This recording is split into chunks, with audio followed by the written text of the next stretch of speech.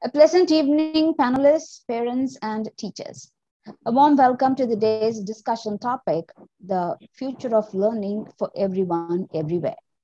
The hot discussion topic, the sixth series under Craft World School Knowledge Hub is about the future of learners, teachers, learning resources, schools, system management, etc. In short, on the schools of the future and the future of schooling and the big changes ahead. One of the best Cambridge accredited schools in Kochi, Craftworld School is an innovative attempt to work with children to inspire them to become self-reliant learners, nurture their talents and equip them with the skills and values that will empower them to become self-confident and well-rounded individuals. Craftworld School provides every child access to a happy and welcoming community focused on learning in a stimulating and rich environment. Craftians are molded to be lifelong learners, carrying forward the enriching and happy childhood nurtured within, the, within and outside the walls of Craftworld School. I'm Bindu Menon, PR and training consultant of Craftworld School and the moderator of this session. Our panelists for the day are Mr. M.P. Joseph, former Additional Chief Secretary, Government of Kerala, former the United Nations official, former District Collector, Kochi, Executive Vice Chairman of Bhavanam Foundation. Welcome, sir. We have a panelist, Advocate Majid CA, Managing Trustee, Craft World School, and Executive Director, Rams Business School. Mrs. Mridula Praveen, Principal Craft World School, Ms. Lasita Srilal, mother of Samast KG2, administrator at Light Breeze Infotech Private Limited. Ms. Padmaja Ram Gobind, mother of Kashish of Grade 2, homemaker. Ms. Nifia Shaki, mother of Ayan, Grade 2, and Ayman, Grade 3, architect and runs her own firm, Scale Architecture. Just a quick look at the agenda. We will start the session with a welcome speech, then to a felicitation speech by Advocate C.A. Majid, followed by an overview on the webinar topic, then to speaker slot, followed by questions from the panel and the audience to the speaker, then to panelist feedback time, followed by vote of thanks and session wrap up. Now may invite Ms. Uh, Meghna Susan Jacob, teacher with Craftworld School to deliver the welcome address, please. Ms. Meghna. A very good evening, ladies and gentlemen. Greetings to dignitaries, guests, parents, and my dear colleagues. On behalf of Craftworld School, it is my privilege and honor to welcome you all to our sixth webinar series, Craftworld School Knowledge Hub, the future of learning for everyone, everywhere. Here we have our keynote speaker, MP Joseph Sir, a retired IAS officer of the 1978 batch Kerala cadre. Joseph Sir was until recently advisor in the rank of additional chief secretary, that's in labor reforms and industrial relations. Government of Kerala and executive vice chairman of Bhavanam Foundation Kerala, a public sector non-profit company fully owned by the state government. With the utmost respect, we welcome you to the session. We are eagerly, we are really, we are really eager to hear from you, sir. Next, I welcome our beloved parent fraternity, well-wishers, and my colleagues to this empowering and encouraging session. Thank you for accepting our invitation. We really appreciate your cooperation and unreserved love for this institution, sparing your time despite your busy schedules on this evening. Now, I gladly, I gladly, gladly welcome our visionary managing trustee, Advocate C.A. Majid sir, and our vibrant principal, Ms. Mridula Praveen ma'am, to this enlightening session. This is a testimony to the commitment you share for the welfare and education of our children. Therefore, it is my earnest prayer that whatever deliberations we embark on today will be constructive and truthful and will go a long way towards improving upon the already very high.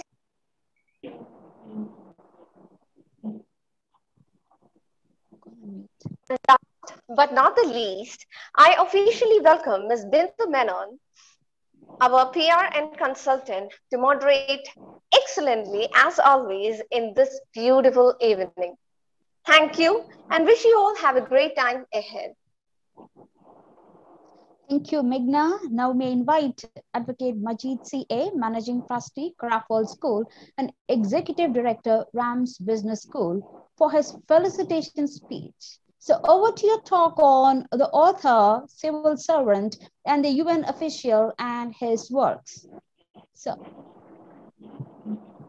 Very good, very good evening.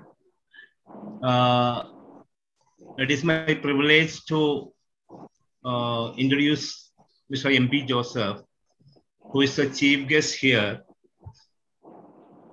Craftworld School is a Cambridge approved school but is running from last seven years. That is from nursery to seven, grade seven it is conducting with a unique structure, entirely different from the uh, Indian syllabus and uh, Indian culture of education.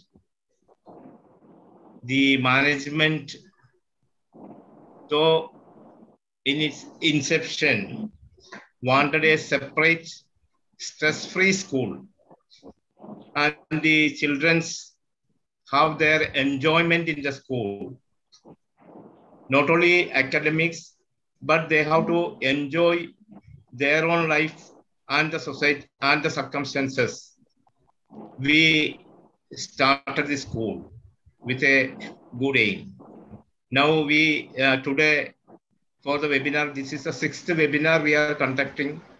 And today, the webinar, our chief guest is a very proud son of Kochi.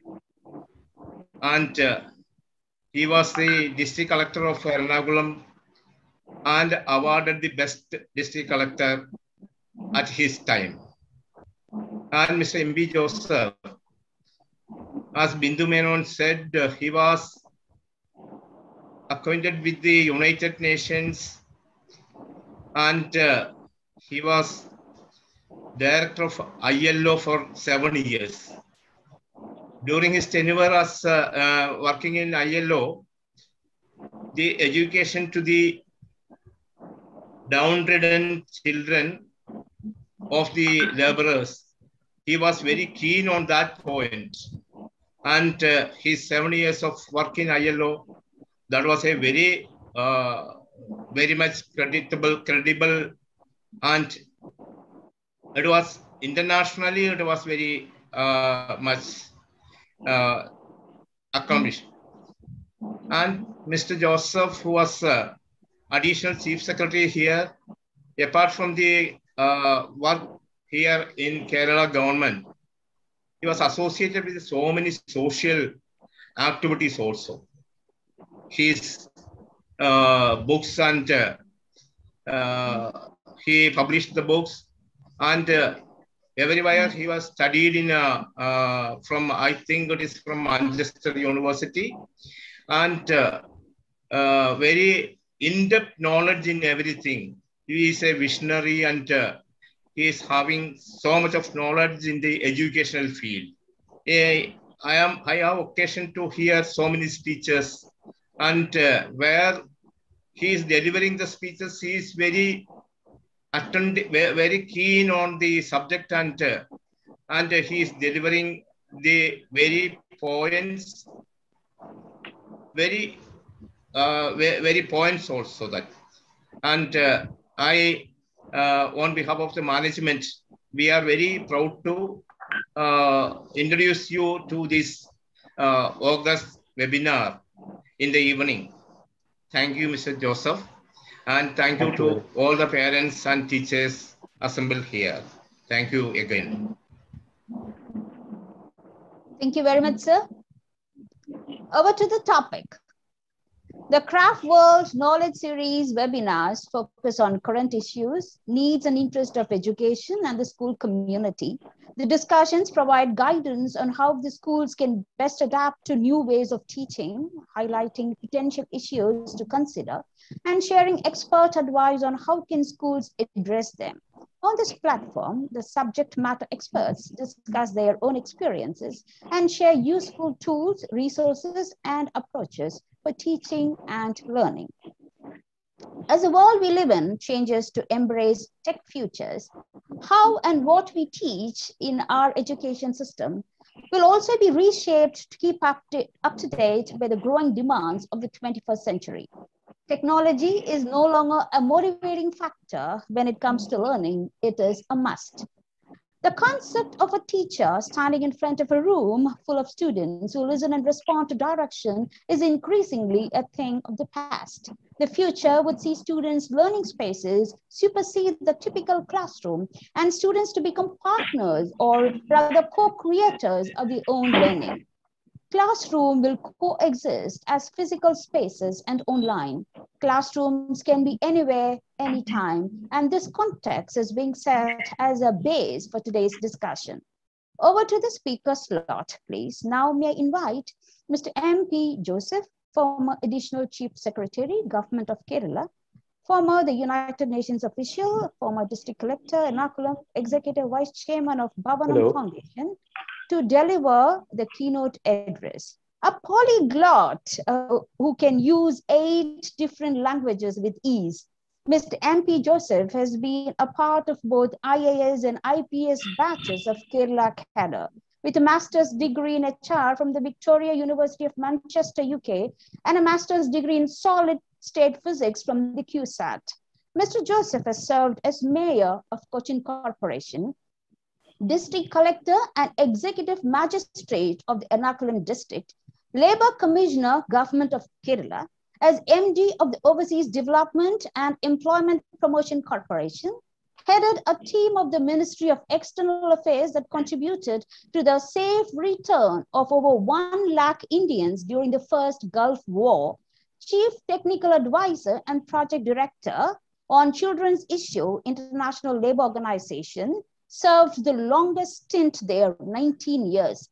Executive Vice Chairman, Bhavanam Foundation, Kerala, advisor in the rank of Additional Chief Secretary, Government of Kerala, and a book author is the author of My Driver Too Long and Other Tall Tales from a Post Pol Pot Contemporary Cambodia. The book written with a Maughamian touch it delves deeply into the soul of Cambodia, a soul molded by the ancient culture of Angkor and shaped by the more recent excesses of Pol Pot, was launched by Dr. Shashi Tharoor. Over to our keynote speaker, Mr. M.P. Joseph, please. Sir. Thank you very much, uh, Bindu. I think that was a very long introduction that you gave. You. Uh, I'm pinching myself uh, to be sure that you're describing me. But anyway, thank you so much for your very kind words. Thank you also, uh, Advocate C.A. Majid, uh, Principal Mridula, uh, and uh, and uh, uh, and, the, the, I forget the name of the teacher who welcomed me. Thank you all so much. Meghna, sir. Uh, for It's me, Meghna. Meghna. Thank you, Meghna. Yes, yes. yes. Uh, thank you very much, Meghna. For me, it's an honor, a delight, uh, and of course, a pleasure to be asked uh, and invited by Dr. Advocate Majid to deliver this uh, keynote talk on the future of learning. Uh, I was told, I was very happy, I was delighted, I was exultant when uh, uh, Advocate Majid told me that the school is based in Kaithara in Kottuvally Panchayat. Now, my roots are in Kottuvally Panchayat. So I will slightly change uh, the, the, the phrase that Advocate Majid described me that I'm a son of Cochin. I'm actually a son of Kottuvally Panchayat. My grandfather, our family, is uh, from Valluvalli, which is in the neighborhood. Uh, uh, my father, of course, later shifted to Ernakulam, Japanapalli, Magadan, so on. But our roots are there. My roots are that I keep going there. And there's even a, a group of my cousins staying there. Uh, they, they, put up this name board saying Mena Chedi Enclave. So if you're passing by, my family name is Mena. So, so I was delighted to know that uh, the school is the Craft World School International is based in Kaithara. Uh, when I was young and I used to come to, I studied in Chennai. And when I used to come on summer holidays to Valluvalli and stay there for a couple of weeks, it was the back of beyond. It was a, it was a place uh, uh, which was, uh, which was very, very backward, very small. It had a narrow road. The road is still narrow. Uh, but, you know, if there are a million buses and cars passing through that highway and it's National Highway 66 now per minute, we had to wait for you know, 30 minutes to see when a car passed through. So it sent a, how do I say, a free zone of delight, a shiver of delight to know that there is an international school there uh, in the panchayat and so close to where I belong. So uh, particular thanks then for inviting me to speak uh, at a school, at, at, at, a, at, a, at, a, uh, at an event like this, uh, in a school which is based in where I am from. Uh, the subject is the future of learning. And at least so I thought it was till yesterday. But it was only this morning when I read through Advocate Majid's email one more time more carefully, I realized the topic was much broader. It is the future of learning for everyone, everywhere. That's a, that's a very broad topic. And I suppose in a sense that it exemplifies the perspective with which the school is founded. And in a sense, I would say that the Craft World School at Kaithara exemplifies also the future of learning for everyone everywhere. Because in a place, which why do I speak of my childhood, even 10 years ago, 15 years ago, uh, was still a very rural place. And to, and, to, and to set up a school there is, I suppose, uh, a step that shows that the future of learning is for everyone everywhere and that everywhere particularly. This is a school of which I believe has no bags, no homework, no bells, no monthly tests. And that is what I believe the future of education is going to be.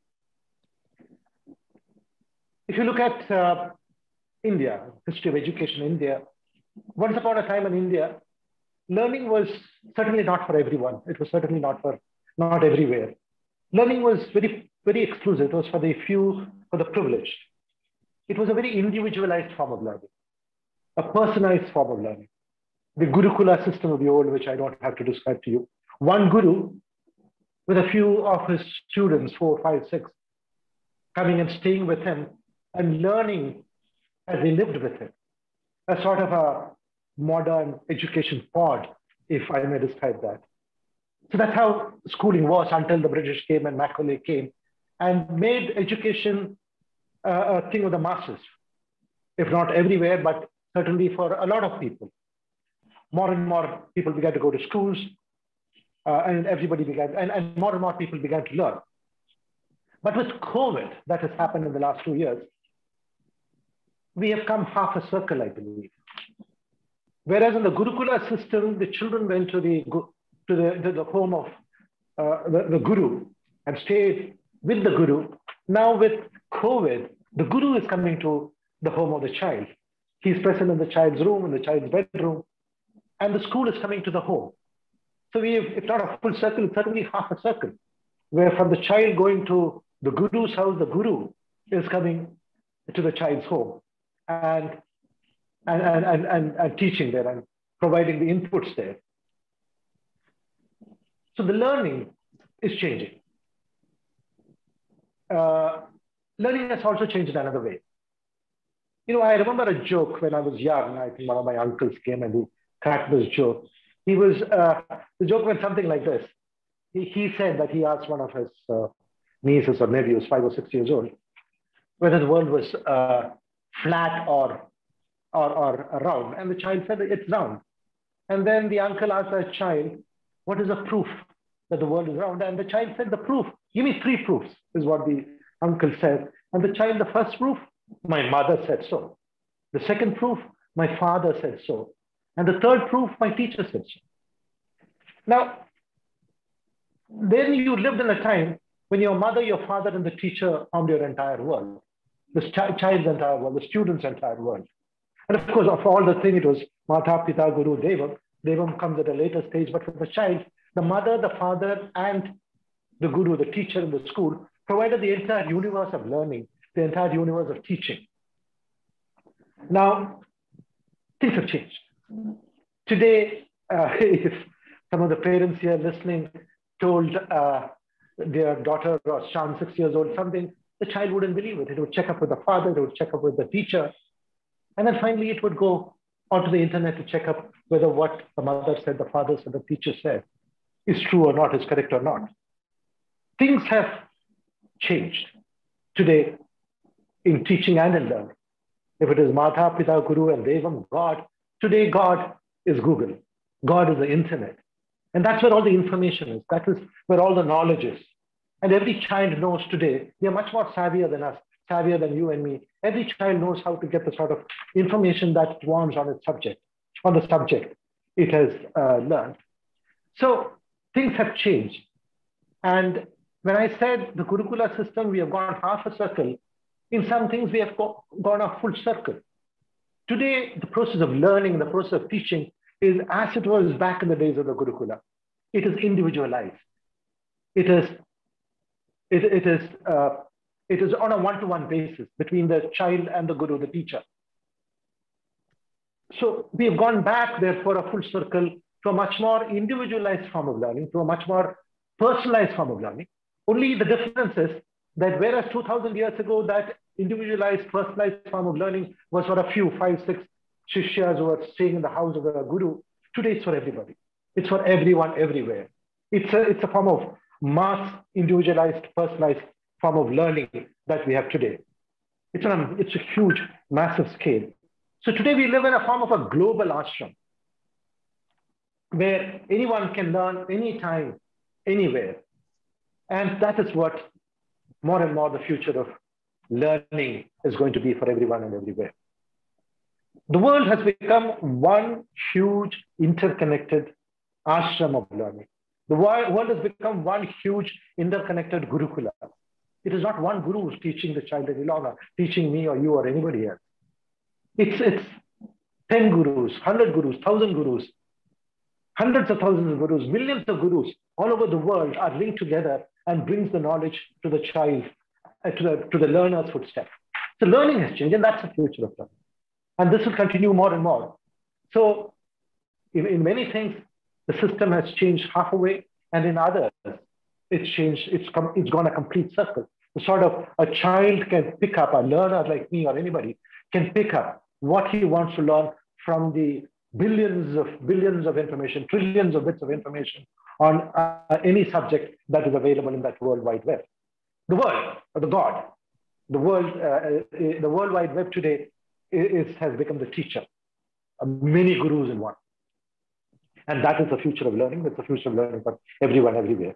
It's going to be single, it, it is going to be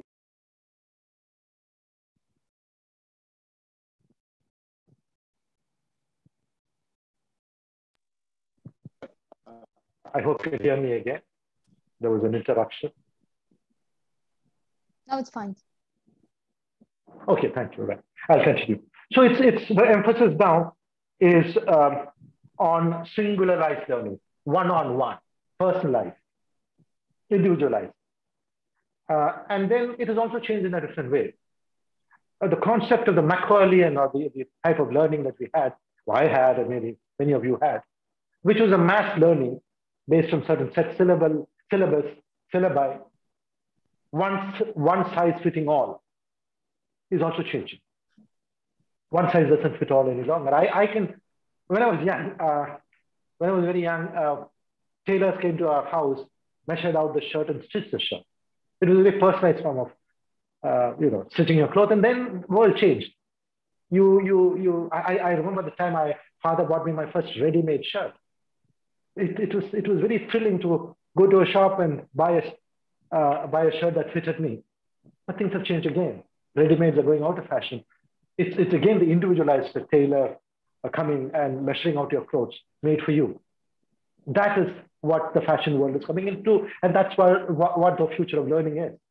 From the sort of mass learning that Macaulay introduced, and I'm, I'm no way critical of it, it was necessary for that stage.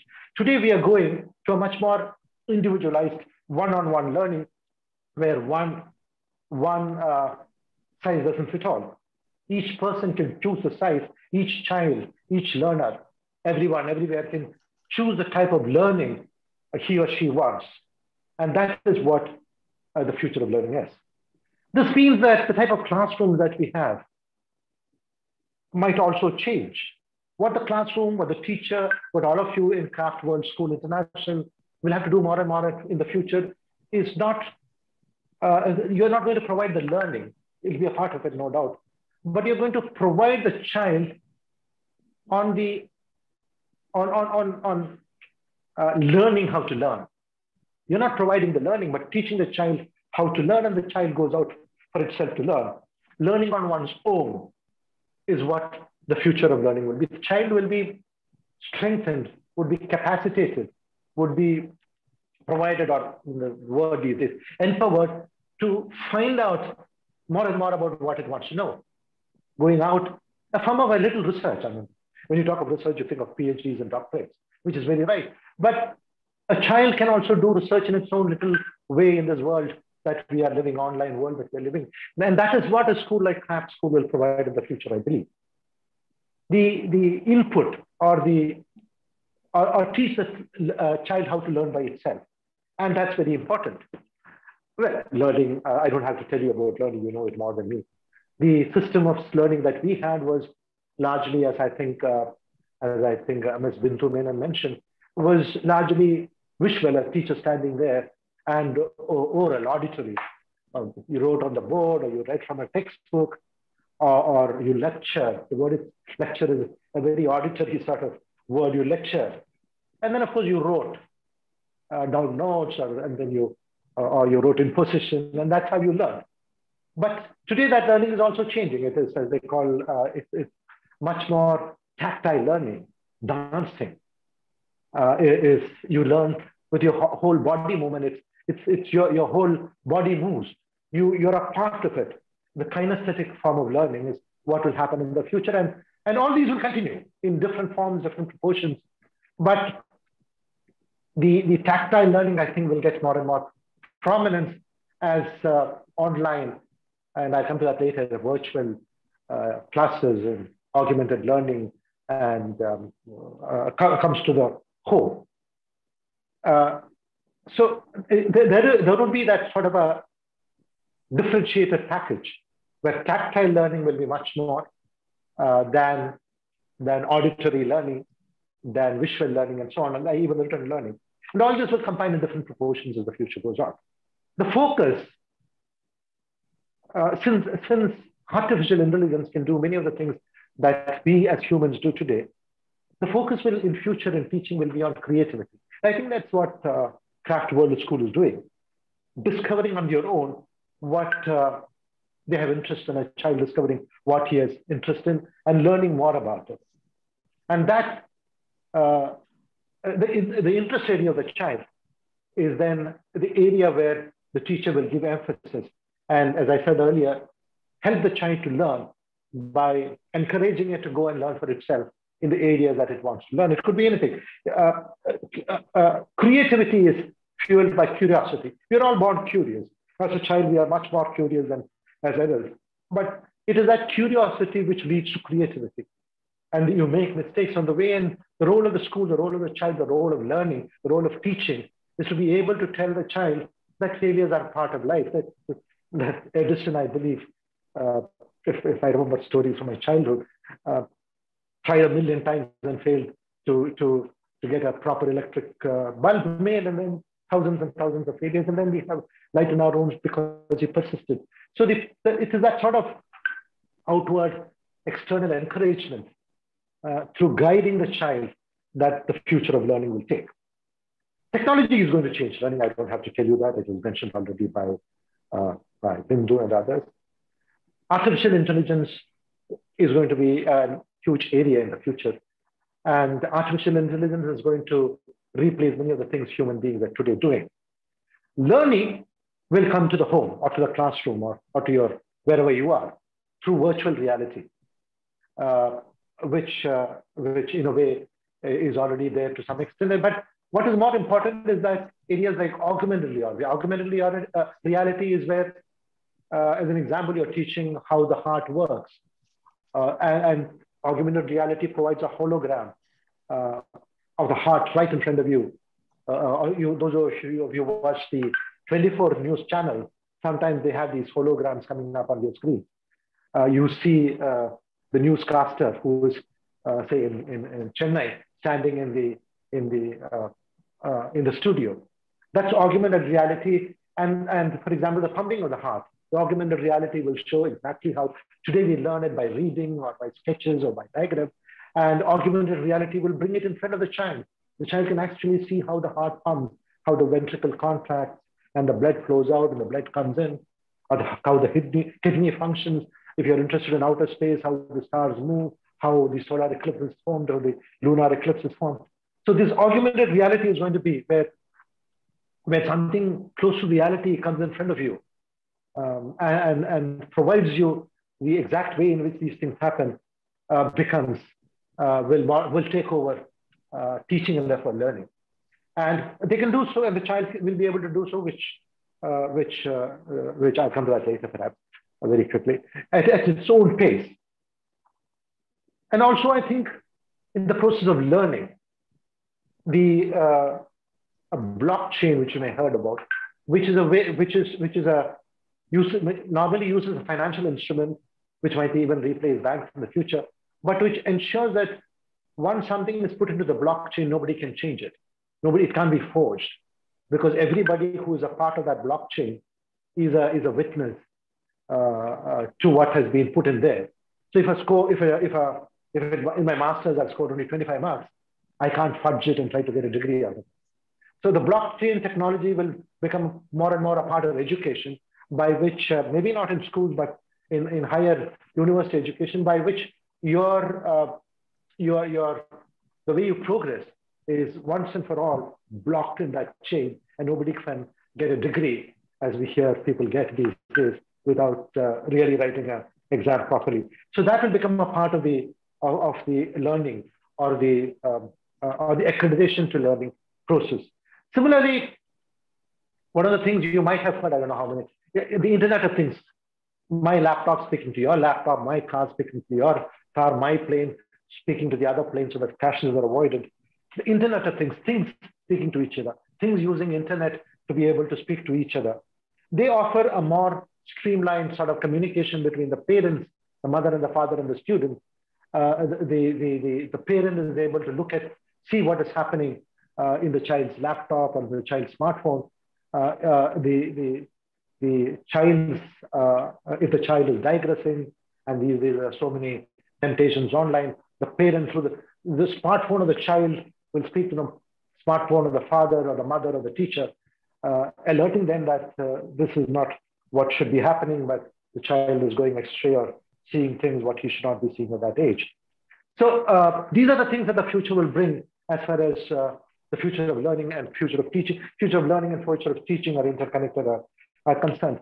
Now, about virtual learning, though I said describe it in detail, I personally think that virtual learning, uh, and I'm not speaking of augmented reality and other things which are very useful, but the sort of online learning that we have, I really feel that it may not be suited, in my personal opinion, may not be really suited to schools and children at a very young age.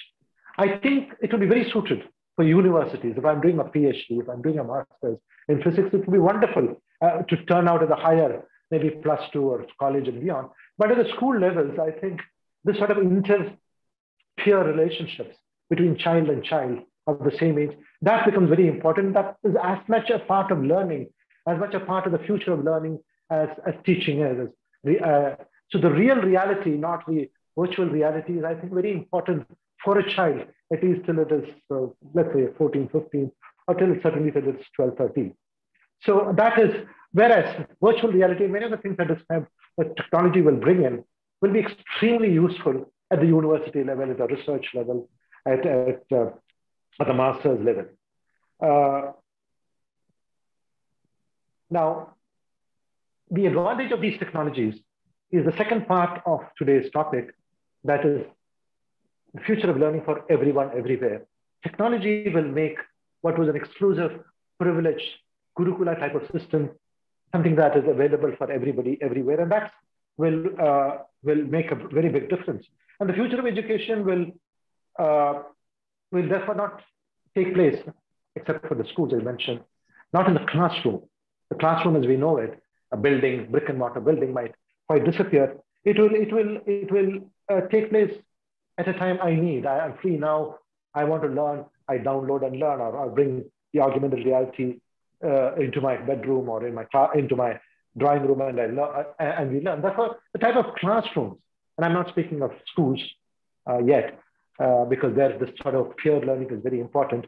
The class, but, but in the universities and so on, I think the type of classroom, the brick and mortar cement and uh, classrooms that we know about might quite disappear, might go uh, out of fashion, might economically be unviable. People may not come there because these technologies, at least at the highest, nobody likes a lockdown. Uh, a university is a sort of a lockdown. You're locked there between nine and five. You go to listen to lectures. You go to, uh, uh, you know, 10 to 11 is physics, uh, 11 to 12 is human, uh, whatever. That sort of a lockdown, it'll be a lockdown-free world of education, learning in the future, self-paced. I want, I'm free today, I want to learn more. So I download what I can and learn more today. Tomorrow I'm not feeling well, I don't go, I, I don't learn very much. So the sort of lockup in which a classroom is, especially at the university college level, that we are also used to, we went through that process, might change in the future. And classrooms might disappear altogether. And that's also useful for children with, uh, with, uh, you know, uh, with who may not be fast learners, children with attention disorders, etc. This sort of a place learning might be useful for them even at a younger age, even in schools. Let me conclude by, I think I've nearly reached the end of my time, by uh, speaking a couple of words to the parents here. Uh, I think it's very important. The parents have a major role in this future of learning. Uh, learning is going to be very different from the way you and I learn. I think you should, when children question, we should encourage them. Uh, a child is curious to learn, as I said, uh, and understand how the world around him works, relationships, how things don't work, why is this and why is that. Uh, so encourage the child to question. And, and when you give him a, an answer or give her an answer, if the child questions your answer, so be it. It's a learning process for you as well. You might be wrong. You can look up and think knowledge changing is, is changing by the second. So encourage the child to question. Encourage the child to question the answers you give. Encourage the child to question the questions. This can go, uh, uh, that's how we, we, we, we our curiosity uh, is, the child's curiosity is, uh, is fulfilled and the child learns. The child becomes creative. And very important also to encourage the child in the areas of his interest or his skill. And I'm very glad that's what the school is called the craft works, the craft school. Uh, that's very interesting because I, initially when I heard the name, I, I, I was not quite sure what it meant. But that is what it is, encouraging your skill. A craft is the skills with your hand. And that is what it is. So it could be music, it could be painting, it could be dancing, it could be singing. Uh, I saw this film called Pushpa the other day. Uh, the singing and the song, the dancing and the steps. It could be that the child is enthralled by it. Uh, mathematics, cricket, football, who knows, software, rocket building, anything. So it is that curiosity as a parent that you should encourage and, and, and propel the creativity that is latent in him or her. One more word to the parents, especially because the school is named Craft School. Um, one of the things, at least in my generation, perhaps in your generation, we had this thing, this bias Well, it's good to be a doctor and engineer, great to be an IAS or IPS officer. I'm wearing a blue collar, but it was the white collar that was uh, that we all wanted our children to be. A white collar job, the software is a white collar job. Nobody wanted our children to work with their hands, skills, craft. I think the future of learning also is in building skills, skills with the fingers, skills with the hand, skills with. Uh, and so craft, I think, is very important. Skill learning is very important. And if you're child, wants to take a course which is based on his skills, so be it. Uh, the word vocational school uh, education has become a bad word, and nobody wants to do that. I think that should, the future of learning should disabuse our thinking that a blue collar is something bad and white collar is what it is all about. So I think the perception that learning skills is inferior I think we should try to disabuse our minds of it and encourage your children, if they're so interested, to, to take to skills uh, and so on. This, there is this, this unwritten social hierarchy of white collar and blue collar jobs. I think that should, you, you should, at least the next generation should not have that. bias. We, we grew up with that bias. We should not have that bias. This is why I think I've reached my time. I think I can see nearing 745. So that is what it is. I very quickly sum up. Then we started with Gurukulas, then we went to mass learning. The Gurukula system was very privileged for only for a few, but then it was individualized and was personalized. Macaulayan system of mass school education provided uh, much more uh, opportunities for learning for everyone and mostly everywhere. But then it was not individualized and it was not personalized. But today, the world uh, has become our teacher because of because of internet, because of the World Wide Web. Internet is God. Individualized, uh, uh singularized learning on a massive scale is now possible and is happening. And that's the future of teaching and learning. The world has become one huge interconnected uh, uh, internet, inter, inter, interconnected, um, you know, guru, with billions of gurus providing the responses and answers to the queries that we have. Uh, and it's, it's, the world has become a huge gurukul, the world has become a huge ashram. The classroom will become in the future much more, much more uh, visual, much more auditory, and, and, and most importantly, much more tactile, much more kinesthetic, dancing, music, surgery, and so on. Creativity is what is important in the future. And I think because most of the mundane tasks can be taken up by robots and, and artificial intelligence. So creativity will be important and that is what we should encourage in our children. Uh, we, should, um, we should look at various aspects. The future will be uh, uh, a future of learning will be virtual learning, artificial intelligence, augmented reality, virtual reality, uh, and of course, uh, keeping record of your child's learning or my learning or your learning and our progress becomes a part of the blockchain technologies so nobody can tamper with it. And then, as I said, uh, the Internet of Things will bigger, play, bigger, play a bigger part in, in future learning. I gave the example of the child's phone, smartphone, warning your smartphone that the child is not now, uh, he has gone into Facebook or he's gone into other areas uh, less traveled. So that's the sort of change that will take place. The classroom of the future, I think schools will have to be in the classrooms because of the peer learning, but more and more universities, the sort of huge, massive buildings that constitute universities today, I think they'll, they'll disappear. If not in 10 years, 20, 30, 40 years, they'll disappear. Uh, and uh, it will be replaced by this global ashram, the global gurukul, where you can learn at your pace and so on. Might not happen in the school very much, but that's how it is. And the parents have a very important role to encourage that creativity uh, of the child to, to developing uh, and carrying it forward in the area it wants to go. The child leads and you follow, that's it. In, in my case, my, my father, my parents led, and I followed. In our case, I'm sure that is how it happened. But in the future of learning, the future, the world is changing. We can't compare yesterday's world to today's world, and certainly not to tomorrow's world. But let the child lead and you follow. I think uh, I've taken more than time, but it was a pleasure talking to you. Thank you very much. I hope I made sense, and I hope I've given um, uh, uh, uh, a sort of a perspective on the future of learning for everyone everywhere. Thank you so much. Thank you so much. So usually what happens is that whenever the guest speaker speaks, uh, you know, I would summarize, uh, but then again, you've already summarized, but still I would like to add on a few points to whatever you've uh, uh, shared with us today. One is like when you started, there was so much of happiness when you said that you're from Kottuvally, uh, you know, so much attached to, to, the place. And, you know, I think the entire Craftworld school, uh, they just love that moment. Uh, I think that moment will be cherished forever and then the gurukulam system where guru coming to the child uh, child's home uh, you know is something uh, new learning wherein I, I don't think we would have thought about that the guru coming to the child's home. And he was saying children uh, the teachers cannot fool around with children anymore because they're more knowledgeable than us. And then um, you know uh, it's a, it's a kind of a global gurukula you know uh, wherein the facilitators basically teachers have started calling themselves facilitators connected with with an internet internet, uh, you know, connection. And then uh, more of customized programs like if you look at it uh, you know future of learning now it's like more of certification programs uh, short-term programs and things like that is going to be future you were saying.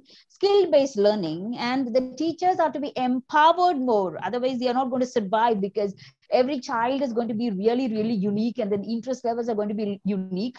Uh, the, the skill levels are going to be unique, yeah. And um, extrinsic and intrinsic motivation, you were talking about. We actually discussed this in the last uh, uh, teachers uh, grooming session too. So that was very important.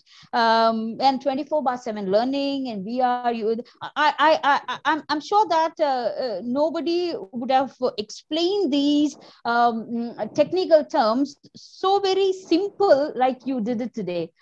you know, with such, you know, what simple examples, you were able to convey what uh, these uh, are, uh, you know, the, the future tech is all about and the way you explain the blockchain, the way you explain the AR and things like that. The, the example you came up with for the IoT, uh, you know, beautiful. So thank you so very much. And we're talking about, in fact, uh, you know, I was just waiting for you, waiting that you would come up with a metaverse, but then again, I think you reached a time and then you were not able to cover. Yeah, right. You're not able to touch base that. It was, it was I was waiting for that example from your side, just eagerly waiting. Yeah. Okay. Right. It, it was in my script, uh, Bindu, but I, I, I thought I was running out of time, so I. Exactly. I, I knew it. I knew it. Yes. Uh, yeah. Then um, for parents learning at their own own pace i mean allowing children to learn at their own pace and parents you know allowing the children to ask more questions encouraging them and then allowing them to explore what is what is going to happen at most. I mean let them explore and learn right? I mean and uh, the white collar jobs which you're talking about, uh, I, I perfectly agree with sir because nowadays more of skill based learning. And then when the changes in the last two years, what has happened is that most of them with white collar jobs have lost their job. Only those skill based jobs are available, and people who are surviving are the ones who are with skills. And then I'll, I'll just give an example for, uh, you know, nowadays, if you look at content writers, uh, i'm also supposed to be one of them right? Uh, so if you look at it there is an app which has come in wherein most of the content writers are going to lose their job because you just give the context and then the it will come up with the content uh, for that. So likewise most of the white collar jobs are going to be you know vanishing uh, in thin air and then skills are going to be the reality of the future. So thank you so very much uh, for the insight uh, shared with us today. Thank you sir time for q&a um, uh, let's start with the parents. Uh, um, Ms. Lasita Srilal, mother of Samast, who is an administrator at Light Breeze Infotech. Uh, over to you, ma'am. Ms. Lasita Srilal. Yeah, thank you, ma'am. Uh, so my question, question, is, uh, yes, yeah. yeah, an important lesson learned during the pandemic is the need to close the digital divides and about the critical role of teachers and parents. Would you please add on your thoughts on how are these going to contribute the future learning? Uh, yes, I agree with you completely uh, that there is a need to uh, bridge the, uh, uh, the digital divide. The digital divide is a great barrier in human resource development in the future. Uh, we have, if not completely bridge it, we should be able to make the gap much more narrower. I'm not a technology expert, but I believe that 5G, for example, uh, which is the latest, we're moving from 4G to 5G, can help in the reduction of this uh, digital divide to a large extent. Uh, but I think most importantly, there is need to be a policy at the state level, at the government of India level, enabling financial and technological inputs to make uh, make uh, to, to digitize more and more to provide provide uh, connectivity, the last mile connectivity, the last foot connectivity, uh, so that every child is able to uh, able to go to that worldwide gurukul that I spoke about. You can do that only if you have uh, if, if you have that connectivity. So while we speak of, for example, cities like Cochin being smart cities, that's fair enough. That's not enough. We should make uh, uh, the district a smart district. We should make the state a smart state. We should make the country a smart country. Uh, a, uh, uh, a, child in the most backward village in Bihar or Orissa should be able to connect uh, to the world, uh, to this Gurukul ashram, to this global ashram that I spoke about. And that's very important. Uh, Kerala needs to be a smart state, Ernakulam needs to be a smart district, and India needs to be a smart country where connectivity is, is, is available like that. Thank you so much. Thank you, Ms. Lasita Srilal. Thank you, sir, for that. Now, uh, now it's a turn, uh, Ms. Padmaja Ram Govind, mother of Kashi Grade 2, who's a homemaker. Ms. Padmaja, please. Good evening, sir. Today's uh, students and parents in today's are heavily focused on end results. So my question is, uh, why we are grading and for whom we are grading? And do exams really prepare our children for end results? Uh, madam, uh, I would answer this both yes and no. You see, there's a competitive spirit in all of us. It's built into our genes. Uh, higher, taller, faster, quicker, longer, and so on. Motto Olympic. I don't remember the exact one, but uh, Altus, I don't know. That competition is built into our genes. And perhaps that is why we have also survived. Uh, to come first, to be on top, that's in our blood. So and also, the world is a very competitive place. Uh, that we should remember. Competition is built into everything, everywhere. Getting jobs, in politics, in business, in sports, it's all there. Therefore, training our children to be competitive is not a very bad thing altogether. The question is, when should we begin this training? And that is where, when should we start training our children to be competitive? You start them too early and then you, you, you your mind gets boggled down uh, you start too late, perhaps then he loses or she loses in the competitive world. Now, if you, I don't know how many of you are aware of the new government, uh, government's new education policy, that gives a slight insight into the matter. It says children should learn, uh, start going to preschool, pre-KG at the age of three, and uh, you know, uh, three years in preschool, uh, and then grade one and grade two, five years. From the age of six, or from the age of six, they start so uh, 6 plus 5 is about 11. And then there are grades 3, 4, and 5 uh, in, in, the, in, the, uh, in the primary. So altogether, 5 plus 3, 8 years.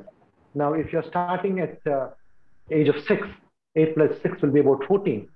Now, I think competition certainly should not happen uh, till the age of 11 or 12, and maybe built in afterwards. Uh, maybe after 14, 15 is the right time to start competition. Early competition might, uh, I don't know, I, am not a psychologist, child psychologist, but the child won't understand what it is. Even though the child has an inherent ability to say, I, I, I did this, I'm on top, I came first. That's there in all of us. But I think it's best developed at a later age. And it is it's also very dangerous not to develop that because it's a competitive world. You're going to be outshone, you're going to be outrun, you're going to be you're, you're going to be defeated uh, in everything that do, whether it's politics or learning or, or running or jumping or, or, or businesses or, or in the courts, uh, referring to Advocate Majid. A- anywhere, if you're not if you're not that competitive, but maybe it should come in place. I think yes, the competition is actually not with the, the children, but with the parents. What do we do about that, sir? Well, competitive if spirit. the parents are not competitive, if the parents, if the, the parents are here before us, I'm here because I was competitive. I'm sure you are there because you're competitive. The parents have joined craft school, put their children in craft school because they were competitive and came to a certain level. Competition is the parents uh, uh, uh, provide that that spark of competition. My father advised me from day one, uh, I mean, perhaps from very early in age, that I should write the civil service, the IAS maybe, but too early can also put you off. So that's, that, then I decided I won't write the IAS. I joined the State Bank of India as a probationary officer, but that job was such a terrible job that I remember my father's words and wrote the uh, uh civil service again. But uh, too early, it, it starts bogging on you. And that's what I would say. Let the child be a, you know, a teenager, well into his teens, 15, 16, 17, before putting this competitive spark in uh, the child. Uh, too early, perhaps, I don't know. It might. Uh, but then when you look at the channels and I yeah, see one channel having right. this. Yeah. yeah, then, then uh, yeah. Uh, maybe we're carrying it to, to extremes, everything in moderation. But don't forget competition. That's very important. Yeah, right. Very important. Yeah. Thank you, Definitely. sir. Thank you, Ms. Padmaja. Uh, over to Ms. Mridula. Yeah, sir. Uh, yeah, I just want to add up to what you have been saying just now about the assessments and all. That's why I think Craft World School has been going in a really balanced way where we don't have these monthly tests, but we do uh, definitely have these term exams. so that parents will definitely understand where the kids are and children would be exposed to some kind of assessments or challengers or these kind of things but not too much like the other schools where they actually assess each and every time for each and every topic so maybe we can take it in a balanced way where you were saying like assessments are really required you were saying just both answers yes and no so I guess we have uh, been, uh, we are in the right track. The Craftworld School is actually going in the right track. Uh, yeah. I, I, if I may interrupt you there, I'm told Valluvalli and Kottuvally were Buddhist villages. And Buddha always said the middle path. It's good to yeah. take the middle path. That's what. So we are actually in between an ICSE and CBSE school. So I guess everything is now balanced there at, at the place, Kottuvally. We are directly opposite to the uh, Kottuvally village officer. And it was yeah. uh, really a cherished, cherished moment just now, how was uh, Bindu ma'am was saying. It was definitely a delight for all of us to know that you are your roots are there. So definitely when we pass through uh, your house, the Melancheri house, we'll, we would be definitely thinking about you each and every day. On the Melancheri enclave, I think. Uh, yeah, I guess we have seen the house uh, uh, uh, when we passed by many times. Thank you so much for disclosing that, sir. So um, yeah, I was uh, thinking about what all you have been saying, and we completely resonate with you. And most of the existing policies of the school are uh, definitely uh, what you have been saying. Not only the future of learning, few of the policies we have been doing it right now itself, like learning not only in the classroom, sitting under the tree and learning and having all these kind of different way of learning, like interviewing the experts, going for field studies and also those policies, those kind of uh, learning methods are already adopted in our school. So I think we are definitely in the track of this future learning. And uh, we, I really agree with this Vasudhaiva Kudumbakam uh, concept where we have been following this from the earlier age itself. Now we are going back to that kind of age and thanks to technology and how technology have taken, uh, you know, shaken hands with all this kind of uh, education sector and all. And you have thrown light to most of the things that uh, future is going to take. And uh, don't know whether our lifetime we are we will be lucky enough to you know uh, face all this in our lifetime. Anyway, very happy that our kids are going to face all this. Uh, so, sir, I just have a small uh, question to you. Uh, like, education is not a one-shot game like uh, earlier times. It's going to be a lifelong process. So, mm, to ensure a healthy teaching and learning process, we need to make sure that the whole teaching career or the teaching profession should be uh, socially valued, and that teachers and school leaders like me should have the tools, support, professional development opportunities, and expectations they need to be effective. So what is your take on these pre-service training needs uh, to involve all these opportunities for this extensive practice as uh, these kids are getting smarter day by day and they are all unique in their own ways. So definitely we teachers are also human. So we need to get this kind of in-service training that needs to be tailored and focused on improving this instruction-led teaching process. Uh, so what is your take on this? I fully agree with you, but I'll, I'll make a, you said Vasudhaiva Kudumba. I think it's going to be Vasudeva Gurukula. Uh, okay. It's a little change. yeah, yeah, the phrase can be changed. Yeah. Half a joke and half fun. But what you say is very true. Uh, you see, uh, uh, during the Gurukula system, which you are talking about so much, the teacher was the embodiment of all that was right and the way he lived, the way he uh, uh, uh, spoke. Everything was, was, was teaching and learning. the teacher had the most paramount place apart from God. The, but then post independence, for some years after independence, also the teaching profession had a lot of uh, lot of uh, respect. My mother was a headmistress, by the way, in a government school. Uh, she she retired uh, many years ago. But then the teaching profession had a lot of uh, lot of uh, respect and But then maybe in the last 30, 40 years, for various reasons, we started losing respect as a society to teachers. But I'm glad to say that if you look at the last five, seven years, eight years, 10 years, this respect is slowly coming back. Also, perhaps because um, because today teachers are getting better salaries, they are more respected, and they themselves are, uh, uh, are, are beginning to understand that their role is much more important than uh, uh than what was perceived in the past. So I suppose the sort of pre and during training, so uh, training is very important. Uh, I believe again, I'm referring to the new education policy. It speaks of training, you know, young teachers in, in the lower classes, Anganwadi teachers or kindergarten teachers on early childhood care and education. Uh, that, that has become a compulsory part of uh, being able to be a teacher in the lower grades. uh, the ECCE uh, for teachers of Anganwadi. And, and they have to be trained, they have to be provided uh, pedagogical inputs, they have to be provided in-service training are all mentioned in the new education policy. I'm not sure how much of it is going to get implemented, but if it gets implemented, it's a very good thing. Similarly, the new education policy speaks about the four-year, uh, four-year uh, integrated B.Ed program. Uh, for the, it's a four-year thing where you, you are uh, you are provided knowledge, you are provided content, pedagogy, uh, includes practical training and things. And by 2013, by 2013, I believe uh, uh, the minimum uh, degree qualification will be this four-year BA training. So I think we are that circle is coming again where we are beginning to pay a lot more respect to our teachers, which is as necessary. And I, I see the future of teaching as, as, a, as uh, getting back that noble character it once had. Uh, I, am sure, I'm, I'm, very positive it's happening. And all of you, for example, um, uh, Madam Lurtada, you're sitting there and talking, and the other teacher, welcomed. All that provided me with the confidence that we are moving in that direction. I'm sure we'll get extremely good teachers in the future.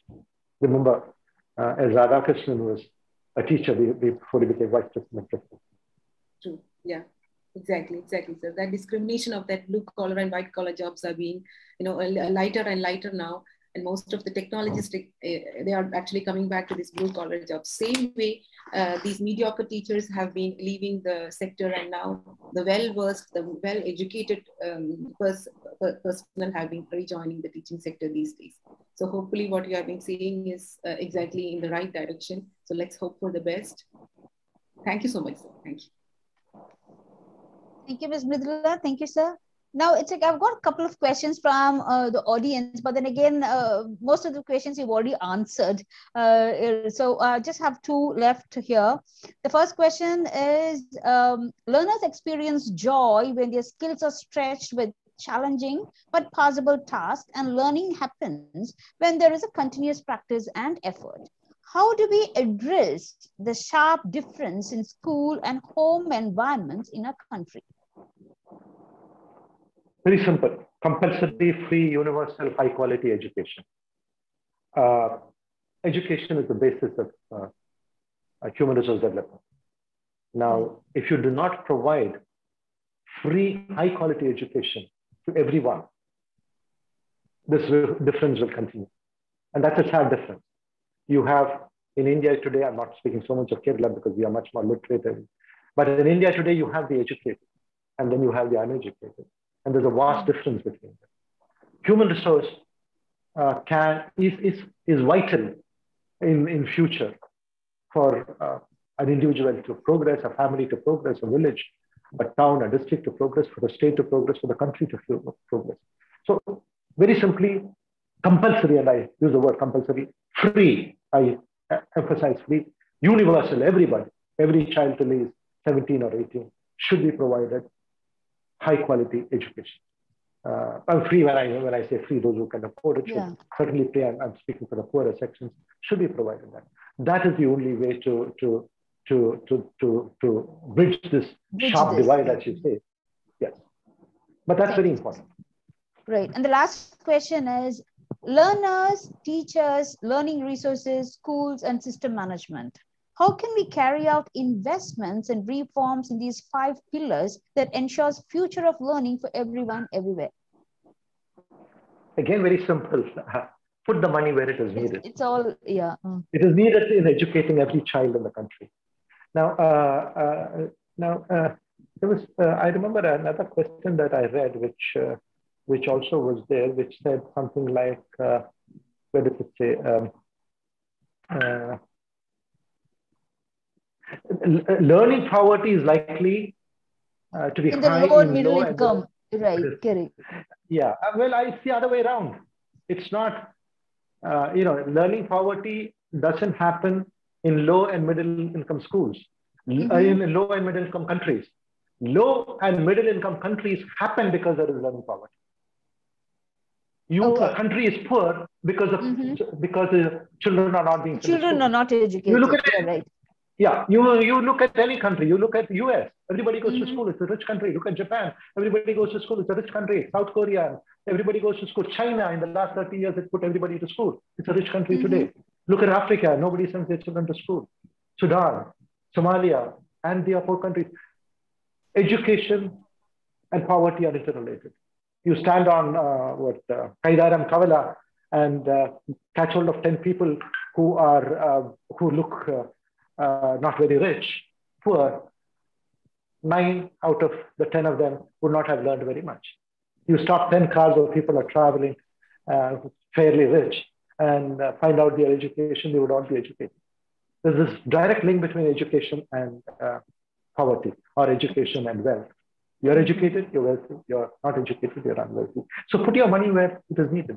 Put uh, government money where it is in educating every child my, I don't know, at the time my grandfather uh, in Valluvalli, he sent my father to uh, the, the, only English medium school those days, I think, in Kunamala. Right, yeah. Philomena School.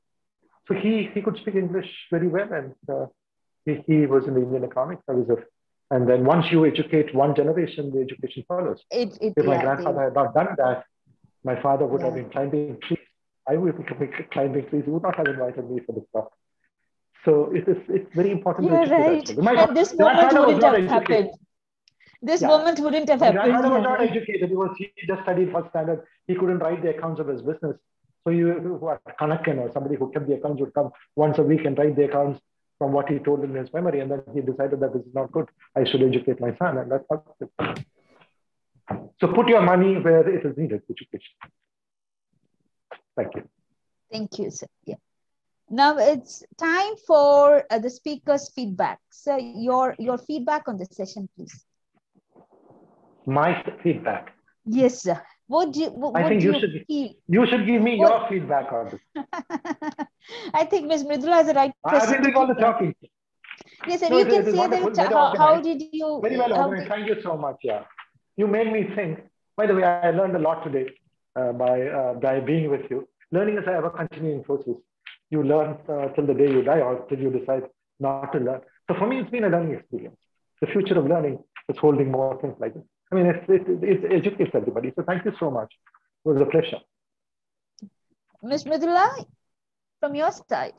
Yes, ma'am. That's what I just told uh, just before asking the question. I just told him how we have been feeling as Craftworld School. It's really an honor and privilege for all of us you have your uh, one hour of time, more than an hour actually. We have taken your time and thank you so much for how Bindu ma'am was saying to put, uh, you know, you just put across all the, um, the most uh, difficult uh, technologies that actually um, our future uh, children are going to face a very, very simple way. So even the kindergartners would understand what is this augmented reality is, what is this artificial intelligence. You just gave us the proper examples of this even uh, the 24 minutes. I've never seen seen someone explaining blockchain like this. This is the first yeah, time. Exactly. So yeah. simple. You know, I was just thinking, can someone explain blockchain in, in such a simple term? I mean, yeah, beautiful. Yeah. So you have been tracking all this all the way, sir. So definitely this session is uh, definitely recorded and it's going to be a how to say a benchmark for uh, the children to see and uh, listen to what um, the great Mr. MP Joseph has already uttered in history about the future of learning. So thank you very much, sir. Thank you so much for your time and putting across all the thoughts, everything in a very simple way where you all teachers are so much overwhelmed with the, your way of describing things. So I think we should have some kind of training or coaching from you. Right, teachers? What do you all feel? Just in our session, we are all so much uh, educated, right? Yeah. Yes, ma'am. That's that's correct. Thank yes, you, yes, sir. Thank you so much. Yes, Thank you, Ms. Mridula. May I now invite Ms. Harika Vipin, teacher with Craftworld School, to deliver the word of thanks, please. Good evening to all. On behalf of CWS team, it's my privilege to propose a word of thanks uh, on this uh, uh, okay, sorry.